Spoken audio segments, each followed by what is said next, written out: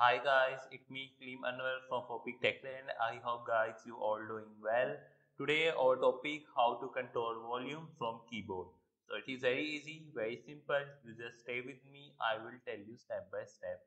So first of all to control volume from keyboard you have to create shortcut like this and after that you you can easily control volume by your keyboard.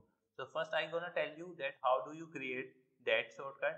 So just do right click and then go to new and then here you see this option called shortcut click on it.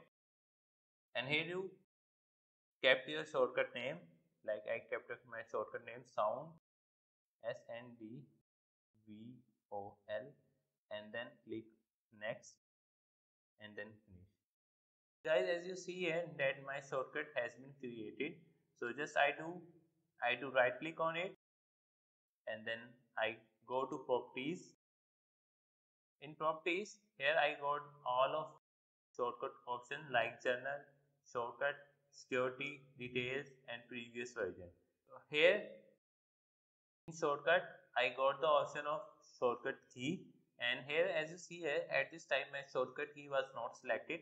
So let I select my shortcut key here first and here you set shortcut key according to your choice.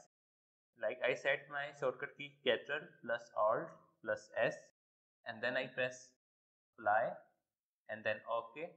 So by doing that my shortcut key has been created.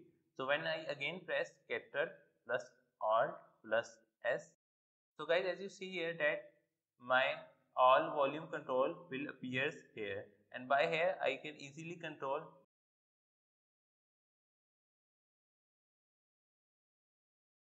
So guys this is a very easy method to control volume from your keyboard.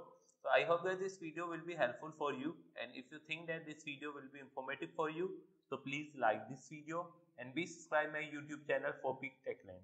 Thanks for watching guys. See you in next video. Bye.